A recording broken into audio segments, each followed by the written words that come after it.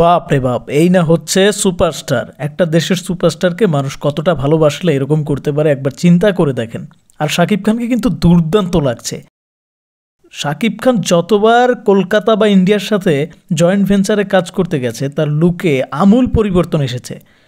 যাই হোক, দেখেন কি একটা অবস্থা। ওরে ভাই রে ভাই, শাকিব খান নিজেই কিন্তু অবাক হয়ে গেছেন। তিনি কিন্তু এক এক প্রকার ভয় পেয়ে গেছেন বন্ধুরা। তারপর নিজের ফেসবুক ওয়ালে নিজেই এই ভিডিওটা শেয়ার করে সেখানে ভক্তের প্রতি ভালোবাসা দেখিয়েছেন।